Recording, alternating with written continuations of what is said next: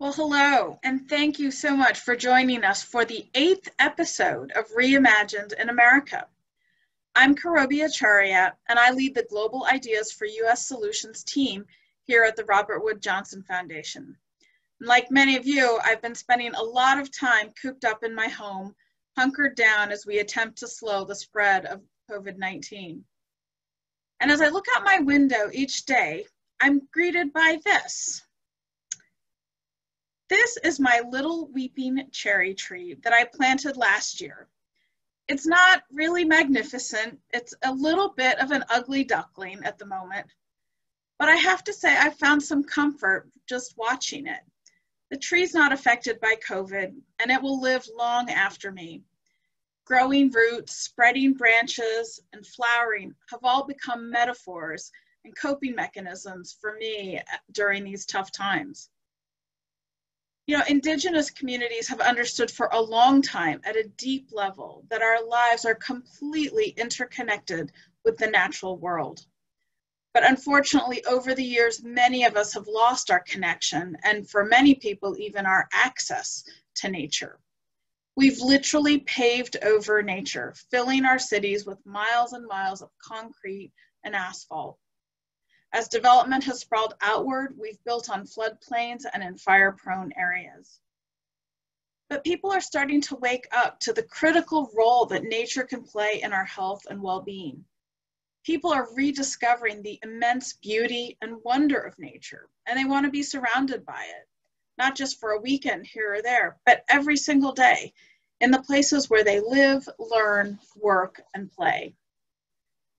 And so that's what we're going to talk about today how communities in the US and around the world are investing in nature and the creative ways that they're strengthening residents' access to and connection to nature to boost health and well being. So I'm really excited to dig in. And yes, the pun was intended. Uh, but for, before we do that, just a, a couple of quick reminders. Um, first, everyone's audio has been muted, but please, you can ask questions at any time using the Q&A button that's at the bottom of your screen. Second, we're recording the webinar and we will be sending that to you um, on Monday. And finally, we have closed captioning available.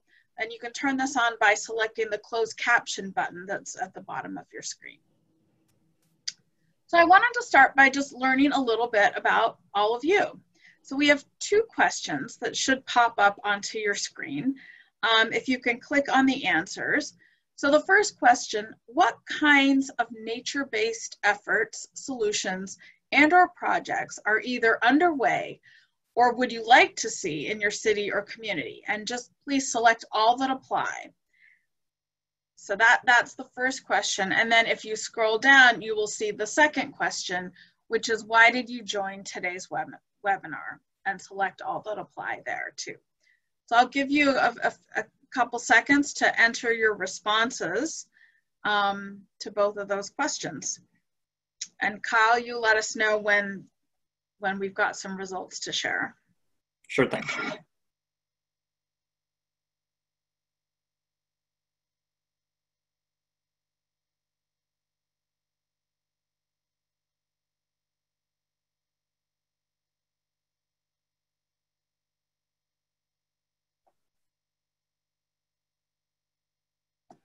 We're at about 75%, still waiting on a little bit of people to, uh, to respond.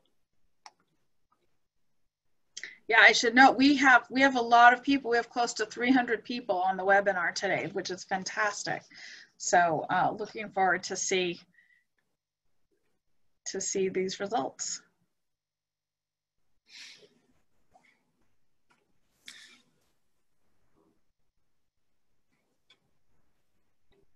Still waiting on the last 15 or so percent. Um, we'll give it about 20 more seconds and then we'll take a look at the results. Okay, great.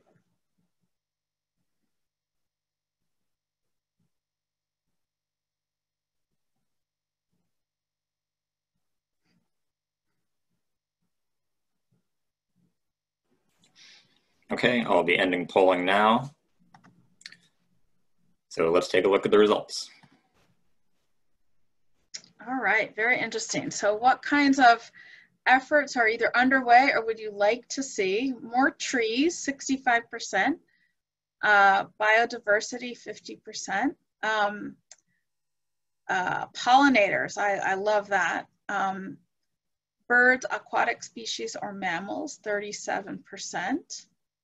Water quality. So the highest, it looks like, is uh, parks and green spaces. 85% of you uh, are talking about that. And of course, these are all interconnected. You know, if you get more parks and green, green spaces, you probably get more pollinators.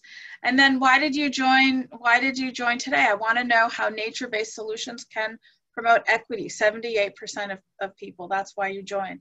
That's fantastic because that is exactly what I wanna turn to now. Um, so, you know, as everyone knows, COVID has kept us away from many of our go-to forms of entertainment, like movies, malls, barbecues, and basketball. And it's kept us cooped up in our houses, and we're not able to visit our friends or family. And it's only natural that our desire to connect both to each other and to something meaningful has brought so many of us outdoors and into what can one can only hope is a lasting and deeper connection to nature. But in general, as a society, we've tended to see the natural world as an inventory of useful commodities. Trees become timber, animals become livestock. All of them are to be used for our immediate human needs with little attention to the longer term implications for our environment or our health. And as you know, our use can turn into abuse, much like the case of the Flint River, pictured here. For a century, people and factories dumped chemicals, trash, even raw sewage into the water. This pollution contributed to the leaching of the lead from the pipes and exposed residents to high levels of lead, as, as we all know that story. But the tides are slowly turning. In countries around the world and even in the US, opinions are beginning to shift. Rather than seeing nature as a short term resource that can be abused, we're starting to understand that it's something to celebrate and to cherish. And in cities across the globe, that hard line dividing the urban world from the natural world is slowly beginning to blur. And that leads us to today's conversation what would it look like if daily contact with nature was something that we all experienced, no matter where we live? Could our lives be healthier, more equitable, more meaningful? I, I think they could. And today we'll hear exactly how to go about making that a reality with examples from around the world, as well as one from right here in the United States, from St. Louis. And so with that, let me introduce our two fabulous speakers. Catherine Werner is the City of St. Louis's first Sustainability Director. She's been with the city since 2009, spearheading the development and now overseeing implementation of the city's sustainability plan. And Dr. Tim Beatley is the founder and executive director of Biophilic Cities, which advocates across the globe for the value that urban nature brings to people living in cities. He's also a professor in the Department of Urban and Environmental Planning at the University of Virginia, where he's taught for the last 25 years. So welcome to you both. So I want to kick off things with a few questions of my own, and then we'll turn to questions from the audience. And remember, you can submit a question at any time by clicking on the Q&A button on the bottom of your screen. So it seems like nature has never been more popular. We're safer outdoors these days, and we're seeing a newfound appreciation for parks and green spaces and the, the, and the role that they play in our health and well-being. So, so Tim, let's start with you. What's going on? Well, thank, thank you, Karabi. It's uh, great to be with you and, and good afternoon to everybody. Um, well, I think you said it well in your introduction. I mean, we're, we're in this uh, time this, of a pandemic, and if there is anything positive that will come out of this, it's a, uh, a reappreciation, I think, for how important nature is. And, and so we believe in this idea of biophilia, which is that we are, in fact, as human beings, uh, hardwired to, to need and want that uh, connection uh, to nature and to lead uh, fully happy and healthy and meaningful lives. We have to have that nature uh, all around us uh, where, we're, where we're spending our, our time. Uh, and increasingly during the pandemic, that, that's time, that's time, a lot of that time has been inside. So um, we have been hearing birdsong and have been seeing things through windows, but we've also been drawn to parks, right? And, and outside world. And and so actually this, these are a couple of images from two of our, our partner cities in the Biophilic Cities Network. Uh, Forest Park on the left in, in Portland.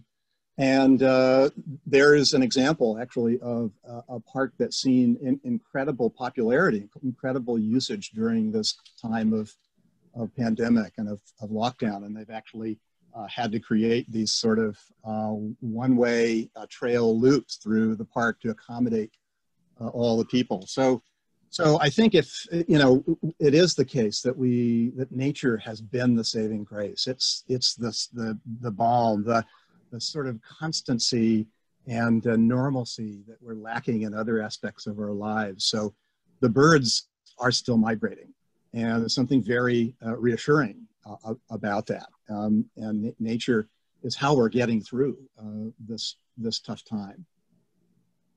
Absolutely. The birds are definitely still migrating. Catherine, tell us, what, what are you seeing in St. Louis? What's happening there? Hi, good afternoon. Yes, no, I agree. I think it's true. For many people, getting out outdoors has taken on more meaning during the pandemic. But the importance of nature and our connection to it, of course, isn't a new phenomenon. I like to say that nature needs people and people need nature. We know that people have the ability to help the natural world through things like habitat creation, land management, and scientific study. A growing body of research also shows that there are numerous health and well-being, education, and even economic benefits that nature can bring to people. And through the Biophilic Cities Network, I saw Tim use an example of a recommended daily nature diet, similar to the ones the USDA sometimes uses for encouraging healthy food choices. So I decided to make one for St. Louis, and here you see it. Uh, and a healthy nature diet would include perhaps at the foundation daily doses of nearby nature with additional weekly, monthly, annual experiences that are maybe increasingly immersive and extensive. The point being, each of us can realize tangible benefits through daily connections to nature, even if they're small and fleeting and cities can play an important role in making those opportunities readily available. I love that. I love that, the nature diet. So, Tim, even before this uh, crisis, there was a handful of cities around the world that have been working hard to bring trees, greenery, and nature back into the city. And you've been building a network of what you call biophilic cities. So, if you could tell us what exactly is a biophilic city and how's it different from a city that might just have a lot of parks? Um, and what is this trend that's taking off around the world?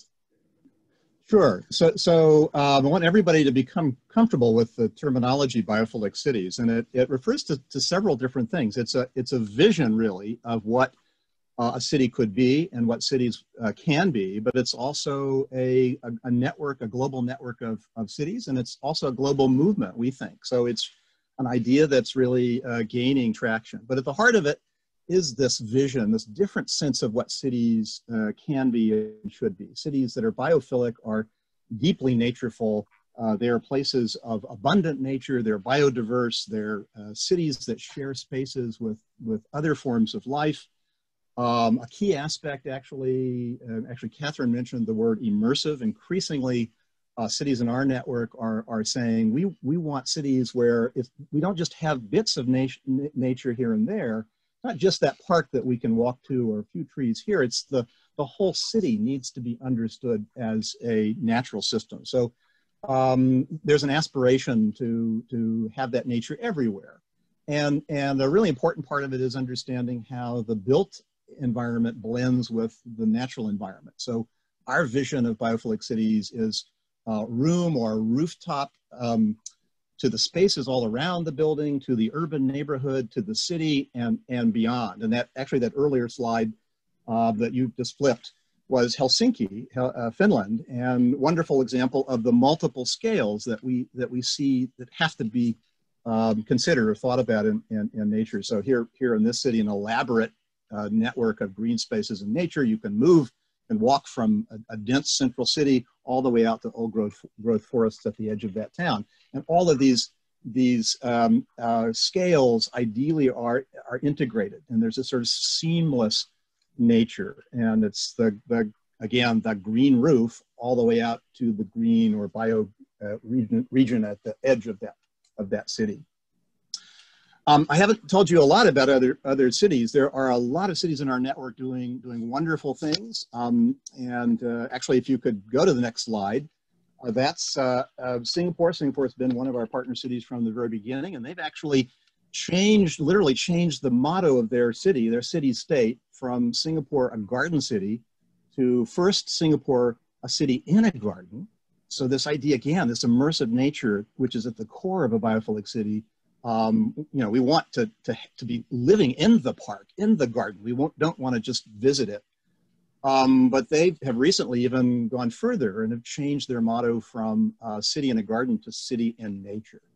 And, uh, and this is um, Park Royal Hotel, uh, one of many biophilic buildings that we find now in, in Singapore. And it's a, it's a wonderful story of a city moving in that, in that direction.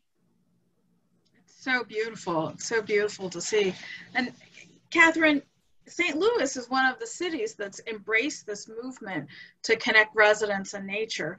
So I'd love to hear how, how you're bringing nature into the city and how those decisions were informed by ideas from other other cities and other countries. Sure. Um, well, to do that, I'd like to share a quick story, if it's okay. I attended the launch of the Biophilic Cities Network at UVA in the fall of 2013, and among many other things, I was really taken by what I learned about the biophilic efforts underway in Singapore. Um, so a few months later, I actually had a chance to briefly visit Singapore, and so I went there, I packed in as much as possible in that short visit. Racing to catch my outbound plane, I noticed that there was a butterfly house right inside the Singapore airport. Uh, I remember the stress and anxiety I felt after three exhausting days of travel there and how it immediately dissipated as I entered the butterfly house. Mm. And looking around me, uh, I noticed that that feeling seemed to be shared. Everyone inside the butterfly house was smiling, engaging with the butterflies. It was a clear example of the power of nature, including in a very stressful place. And a, a, it struck a chord with me that has stayed with me. So I brought that back home with me to St. Louis, and I, I started to take a page from that Singapore experience and search for a way to make it easier for people in St. Louis to connect with nature and butterflies. Uh, so while also expanding critical habitat for the dwindling population of monarch butterflies, which are in our area. Since St. Louis has no dedicated budget for implementing sustainability or biophilia, we needed to come up with a very cost-effective approach. The result was Milkweeds for Monarchs, the St. Louis Butterfly Project.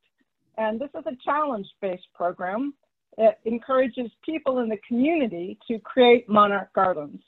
And each garden might be tiny, very small on its own, but after just a couple of years of this program, we ended up seeing more than 400 monarch gardens being created and registered in the city of St. Louis alone. So you can see the map of that in the center of this slide here. So building on inspiration from abroad, we found a way to increase local ecoliteracy, and collectively help increase monarch butterfly habitat along its important migratory path. Thank you so much. I I, I love this story. I, I simply love the story.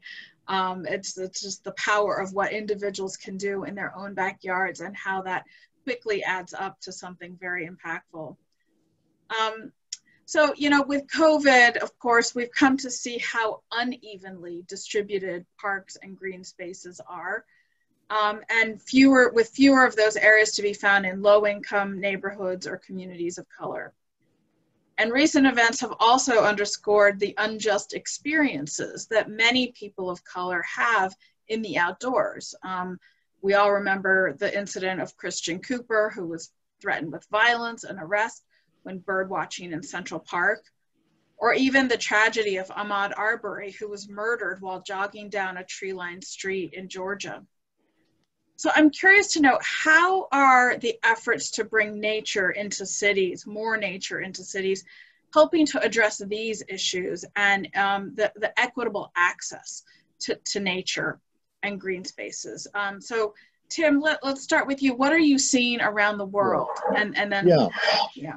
And, and the first thing I'll say is just I'd love for everybody to go and visit our website, biophiliccities.org. And I didn't mention this in the earlier answer. We have 20, 24 cities now in the Biophilic Cities Network. And there's information, there's a page for each uh, city, and St. Louis is there. Um, and, and there's a lot of information, a lot of material, a lot of films that we've been making about these various cities but yes, um, equity is really a, a, key dimension to, to, to the story and to what a, a biophilic city is, right? We, we believe that nature is not something, something optional. It's absolutely essential um, to leading a, he a, healthy, happy life. It's a birthright. Uh, everyone deserves it. It isn't just something for affluent white neighborhoods. Um, but we know that in almost every city, uh, there is an unfair and unjust distribution of nature, whether we think in terms of parks or, or tree, tree canopy. Uh, this recent Trust for Public Land study sh showing that in neighborhoods of color, um, parks are half the size if they exist uh, at all. So, so it's a, a, really key element, a key plank in our vision of what a biophilic city is. Um, we often talk about just biophilia or biophilic equity. Um, so uh, what are uh, what are cities doing? There are wonderful uh, uh, examples of cities that have put that that issue uh, at, at the fore.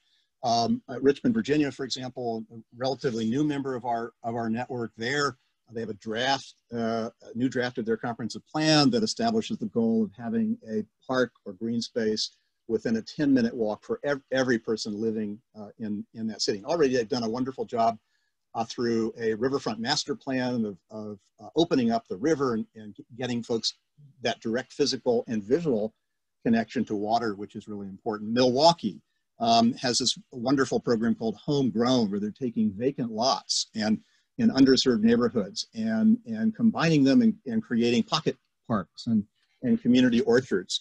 The image on the screen here is, is back to uh, Portland and the wonderful story of Cully Park. And, and this is a neighborhood of color um, that did not have a park really.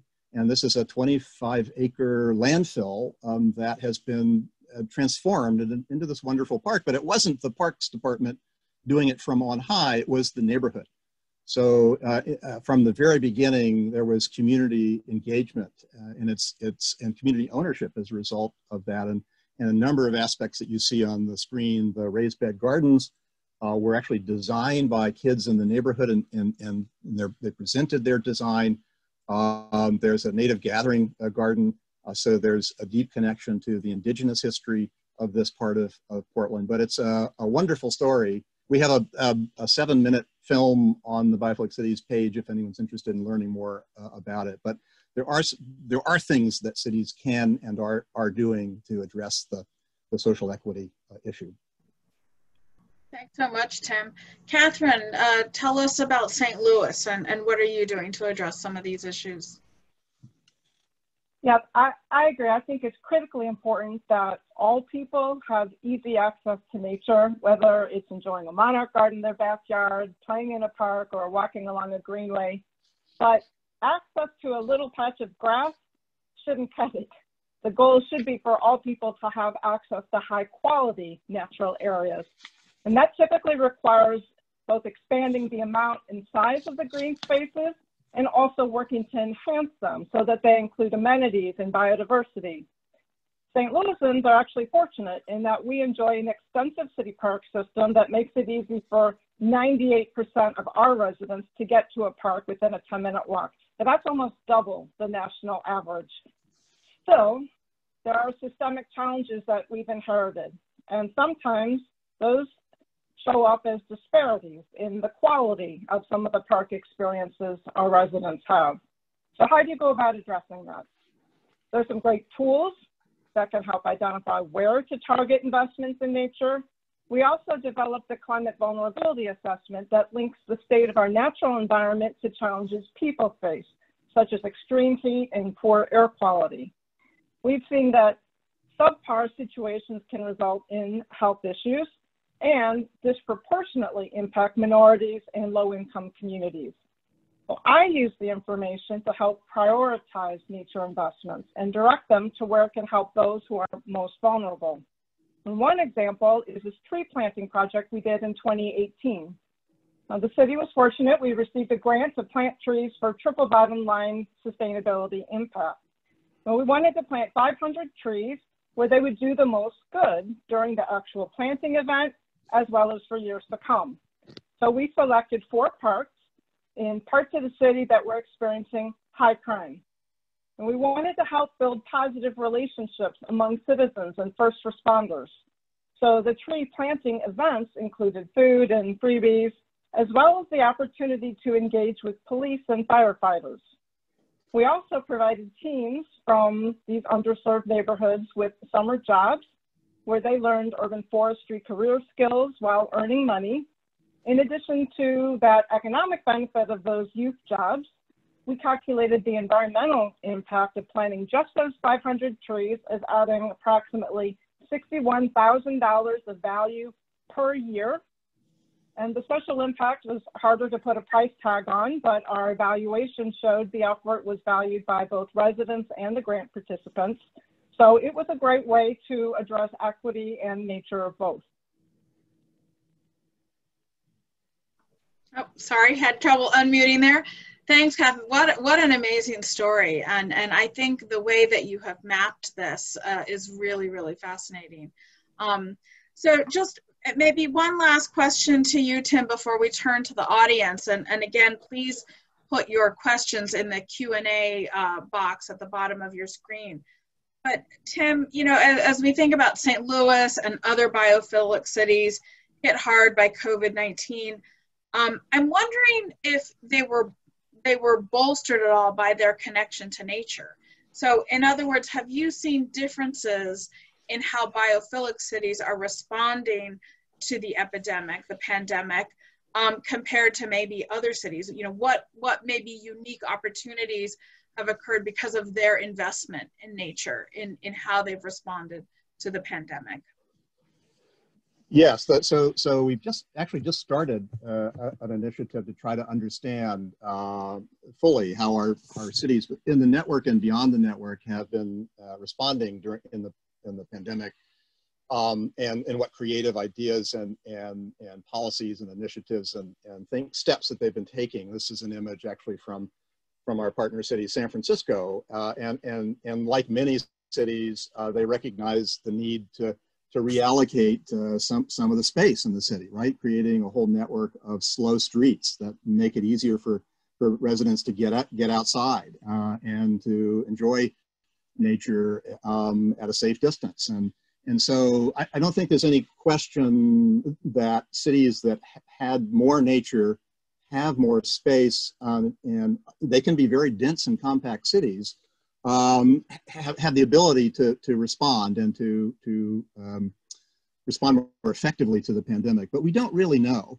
for sure, and we're just starting this work. But one, one story I will tell, uh, back to our partner city, uh, Singapore. I mean, it's been really interesting to watch their uh, response to the pandemic. And here's a city that aspires to this, this immersive nature um, vision.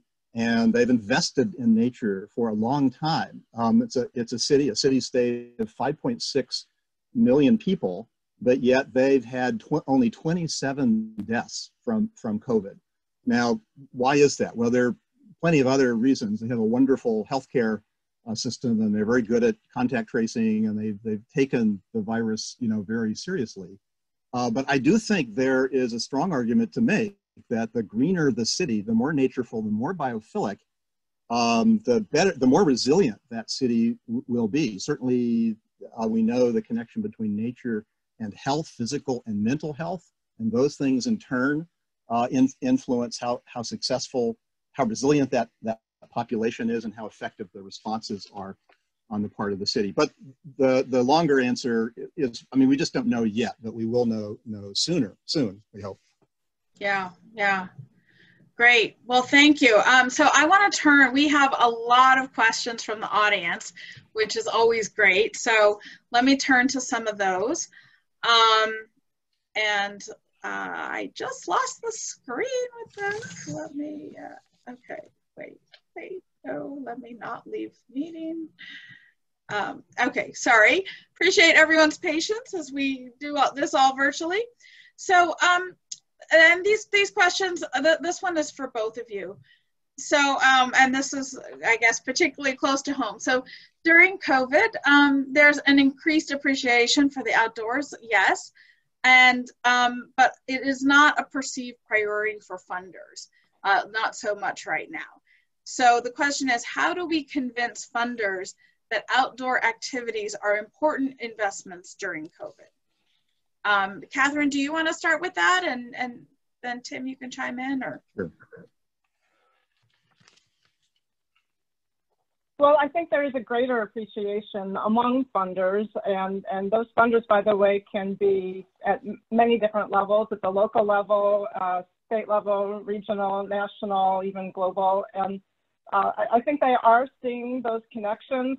Uh, one, you know, going back to that concept of nature needs people, but people need nature. You know, showing, painting the picture and showing that these have nature and the importance of enhancing it, improving it, have direct quantifiable benefits for people. This helps move the mission outside of the sort of typical environmental organizations into those who do embrace health and well-being and um, triple bottom line and social issues.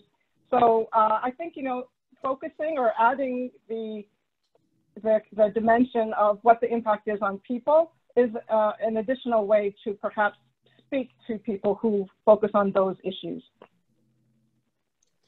Yeah, I, I, I, I, agree, and I'll just just add add to that. I, I think there there are a, a, number of ways we can argue for um, more nature uh, in, in, cities, and uh, there clearly are are significant economic benefits. We have a a colleague, Bill Browning, uh, Terrapin Bright Green, who's written this book or this report, the, the economics of biophilia. When you start to sort of add up all the, the economic value of all of the of the ecological services and all the other all the benefits provided by having nature in your city, it's it's uh, really not hard to to make that economic argument. But at the at the heart of this, for me, it's more of an ethical issue, and it has to do with again back to this uh, nature is a birthright, and and this is something that we are, are we've co-evolved with the natural world. We we want to be happy.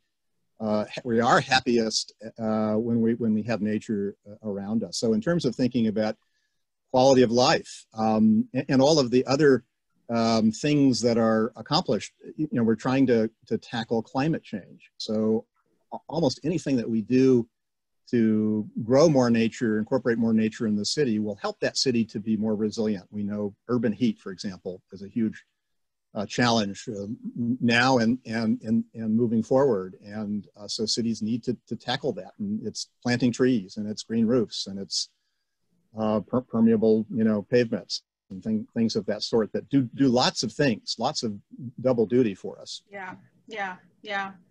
Yeah, I mean, I'll just add that in, in our thinking, there, there, there seems to be such a need for kind of a shift in mindset from there being two separate worlds of the human world over here and nature over there and and there's just such a need for an appreciation and understanding of of all of those interconnections right uh, those very very deep interconnections and and i think there's many societies around the world including many indigenous communities that are showing us that um, every day that, that we can learn from. Um, all right, so to another question. I love this question. Can you discuss how to keep a green vision in mind for regions that have harsh winters? So for example, like Buffalo. So how do you do that? Um, who would like to chime in first? Well, I, am happy to start. Um, we, you know, that's one of the I didn't talk about this in, in defining what a biophilic city is, but I mean, we very much see uh, a biophilic city as one where uh, you know, people are spending more time outside, right? We already spend 90% of our day, even before the pandemic, uh, inside. And we want to bring nature inside, and we have to do that. But we've got to get more of us outside. And so we have some really, really wonderful ideas for how to do that, in particular in at times um, of harsh winters, for example. Edmonton, Canada is the best example we have, I think, in the network. And they have uh, actually developed what they call a winter strategy, which is the, a whole bunch of different things intended to, to get people outside in those harshest, coldest months of the winter. And that means uh, places to go. So they have a, um, they have uh, lots of cities have, um, have uh, highways or, or uh, freeways, they have freezeways. So the idea of being able to escape from your home to your work. Um, uh, redesigning spaces so there are wind breaks and you know warming stations and ways to make it um, possible more comfortable to be outside and enjoying nature uh, so there are a lot of things that can can uh, can happen in a in a northern latitude winter city that's great. Catherine, anything you want to add on that or we can move on as well? I just like this, that quote, um, there's no such thing as bad weather, just inappropriate clothing or something like that. So. What a great, yeah, absolutely, absolutely. Yep. So the next question is, um, so uh, I'll just read it. So I'm curious about the hurdles that cities face when it comes to weaving natural landscapes and the built environment. So connecting those. So like the Singapore example, um, it seems like it would be more expensive to build and maintain. Mm. How do we advocate for this kind of architecture and design as cost effective and beneficial? Um, Tim, that sounds like a question for you. Uh, sure. I mean, and and actually circles back in a way to the economic argument for, for biophilia. Um, so the evidence from Singapore is that uh, that that image of the of the hotel, uh, Park Royal Hotel, for for example, that's a WOHA design project of um, a firm uh, based in Singapore that we've gotten to know that does a lot of this work, and they they tell us that virtually the day it opened, uh, the owners of that hotel uh, doubled the hotel, you know, the room charge. Now we, you know, we want to worry about the cost of hotels and the cost of, of housing, but it, the marketplace is acknowledging actually um, the, the benefit of having that those green uh, elements. That's I think you know one one thing to say. Um, almost everything that that Singapore is doing is again are things that that pay pay back pretty quickly, and they're and that's in, in terms of of cooling, in terms of uh, and, and and we should talk about the health, the, the short term and long term health benefits of these kinds of investments. And it may be, may be more difficult to, to sort of capture and, and estimate those costs, but they, they're there and they're very uh, real indeed. Um, and, and so it's um, not, not hard to make those, those arguments, I, I would say. That's great. Um, Catherine, maybe maybe um, this is a question that you could start with. Um, how are cities correcting their mistakes? such as you know overbuilt parking lots or excess commercial and retail development um, they seem they seem stuck without a pathway forward is that something you can speak to in, in st louis sure i mean I, i'll take it from from an angle that has worked uh, successfully for us i think in st louis and and really it goes back to a bit of a overused saying but um, meet people where they are. Um, and, and I think you need to kind of figure out what, what's important to them and what's needed and what's going to resonate. So um, going back to that, that Monarch Garden idea, I mean, it really did start out as sort of a, a tiny little thing, put Monarch Gardens at City Hall or into fire stations. And, um, you know, a Monarch Garden to be successful only has to be nine square meters. So, you know, it's really a, a tiny thing. And yet, you know, we we tapped into something that I think I, I call it hope. People want to be part of the solution, and you know you have to just make it accessible to them to, to be part of that solution. And, and it started this momentum. And so not only were there gardens in people's backyards and front yards and on the tree lawns, and, but then we got some support and we were able to put in monarch gardens at schools. So we've got 50 monarch school gardens in the city with educator guides. Uh, then we decided to create a, a, butterfly byway, basically a pollinator pathway along the riverfront of much larger pollinator habitat. So it's really kind of, you know, starting small, finding what the, the hook is, if you will, making it easy enough to get that, that snowball rolling and, and then building upon it, leveraging it for even greater success is what I would say.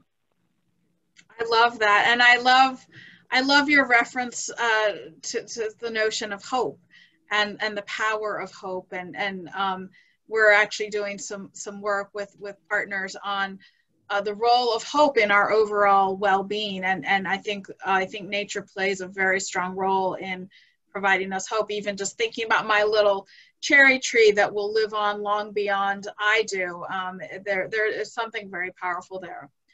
Um, so we have a couple of questions about water.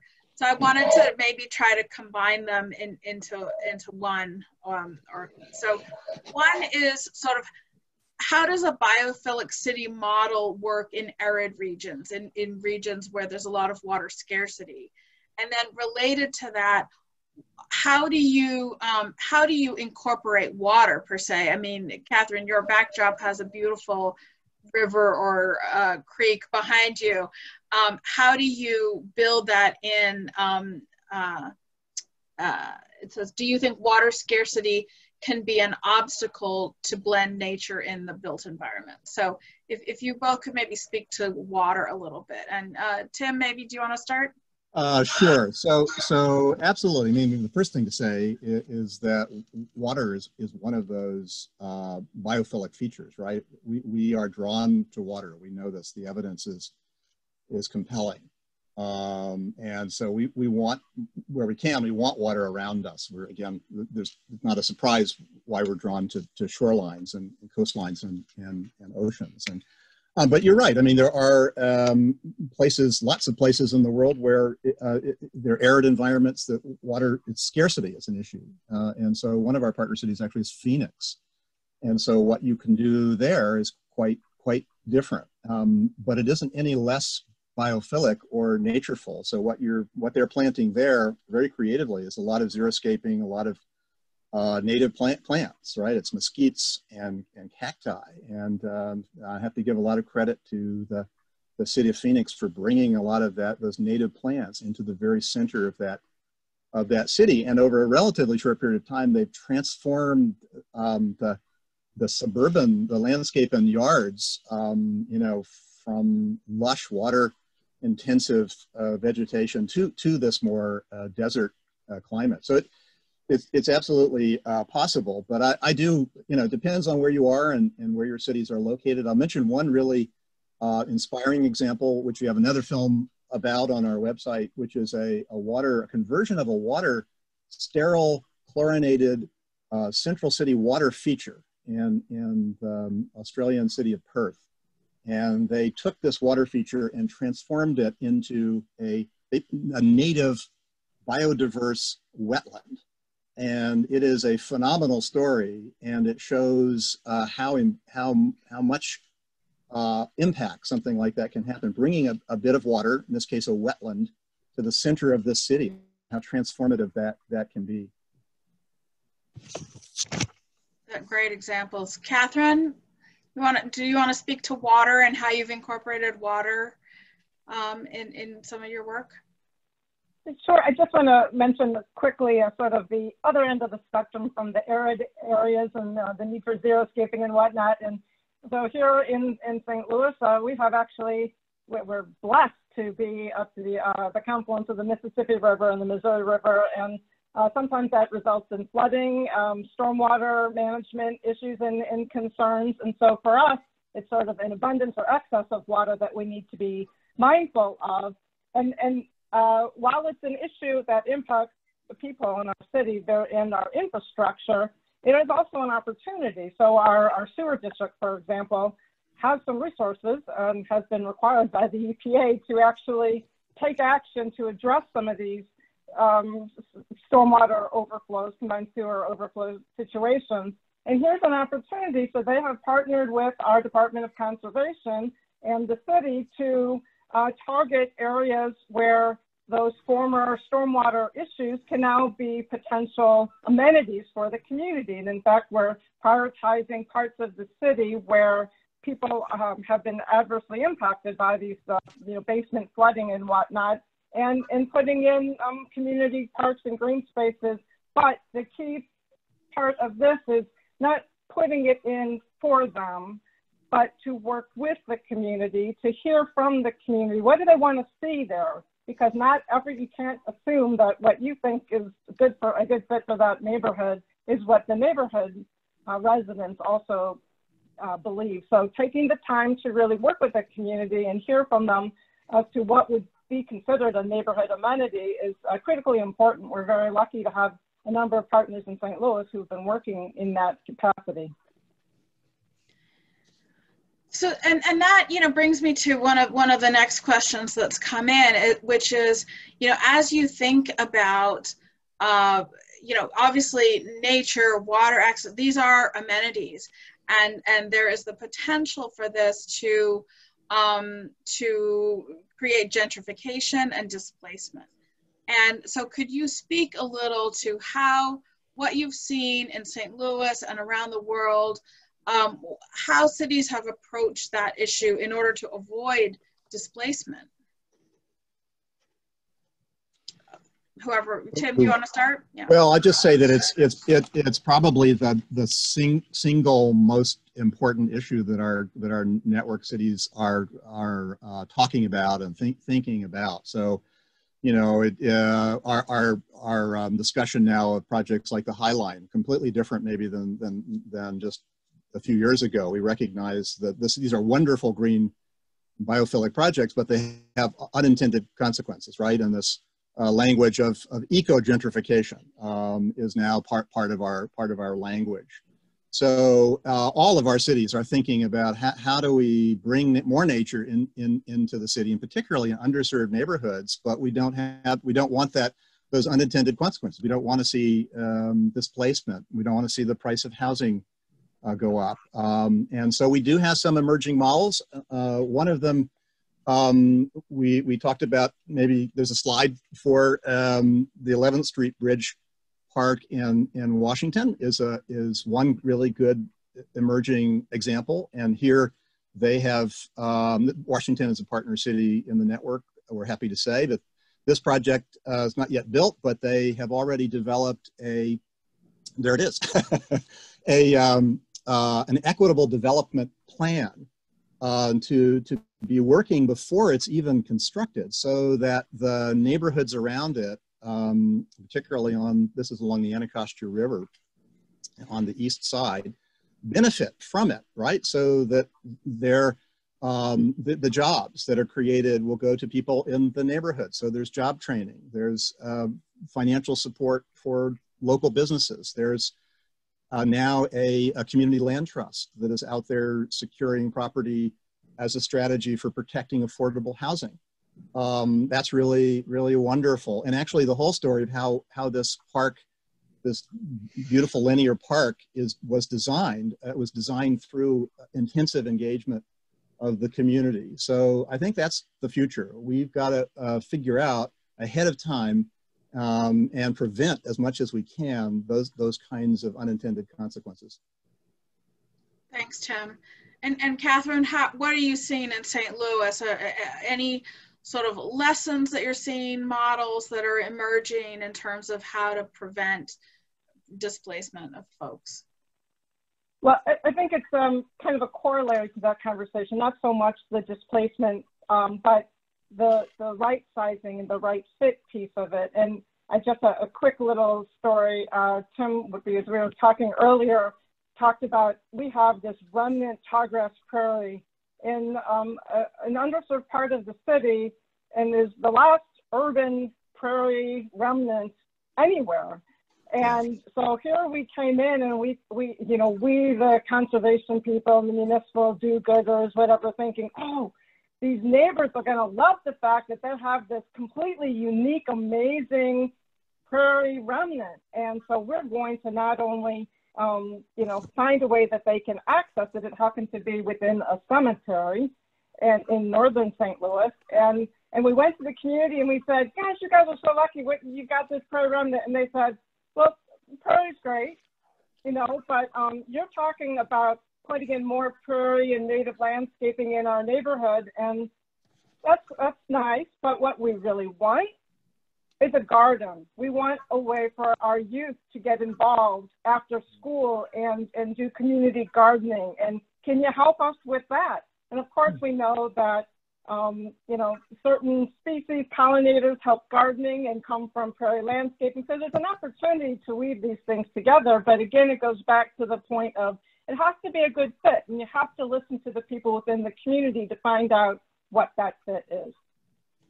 I, I had the chance to, to visit that that cemetery at, at uh, Catherine's suggestion. It's a wonderful story, and um, the, the you know cemeteries are often wonderful places of nature, but this remnant prairie is is beautiful. I know they've been um, actively they're doing doing controlled burns right to propagate the plants and keep keep it going. Wonderful, wonderful story.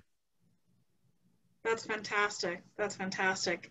And and you know, I think what you've both talked about so eloquently is just the need for deep community engagement that that we don't always we as outsiders do not always or in fact rarely know what what the right answers are and and how to engage uh, authentically community members and and and um and and have them as as a core part of the decision making process is just critical um so that closes the sort of the Q&A section of, of, of our webinar. Um, I want to encourage everyone uh, on this webinar that the next time you step outside, I urge you to look around you and explore your own personal connection with nature and your health.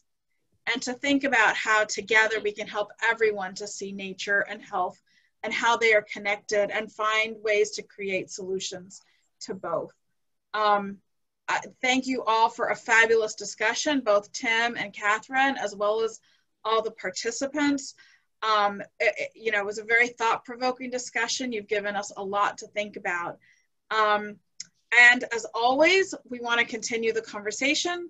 So look for an email with the recording of today's discussion. We hope you will share it with everyone you know and engage with us online using the hashtag global ideas. And I want to give you a small gift before we part, which is a website that I have just discovered. It's going to be posted in the chat. Um, and it's a, a website called Window Swap where people upload videos of the view from their window and their video. So it includes sounds and views um, and lots of birds and, and, and nature. So I hope you enjoy it. I'm, I find it mildly addictive. So with that, I want to thank you again, Tim and Catherine, and to everyone who joined us today. We have a very short survey for you. It really helps us in planning them, uh, planning these webinars. Stay safe, be well, and I hope to see you on the next Reimagined in America webinar. Bye-bye.